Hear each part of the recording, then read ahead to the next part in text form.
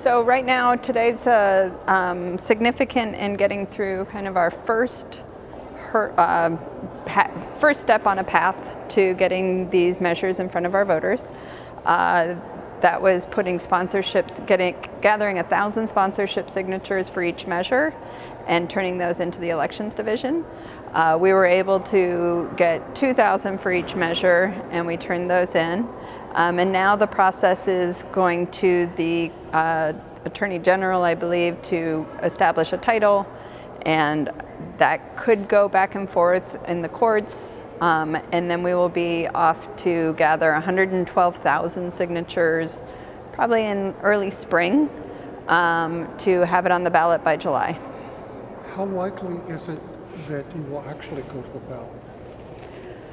You know, that depends on the folks that work on both sides here. Uh, my hope is that we are able to do a legislative path. Our ballot measures are um, great and they will get us climate action. They do not have the level of care and detail that legislation is able to do, right? 117 pages is hard to boil down to 15 words. Um, and they're not, uh, the, the investments won't be there. So our path and our goal really is for legislation. We're also not willing, after what just happened uh, in June, to let that go and be the only strategy for climate action with the youth that you see and the youth that we saw in the streets a month ago, it's unconscionable for us to do nothing and to not be ready to make sure that we really are taking meaningful climate action.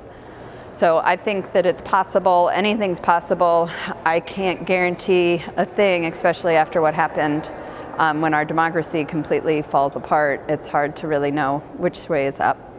Uh, the measures are pretty simple. They are ensuring, the first one is basically ensuring that we um, have a clean energy standard by 2045.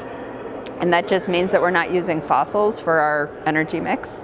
Um, and then the second one basically adds beneficial electrification, so it ensures that our utilities um, are investing more in things that will be getting us off of those fossils.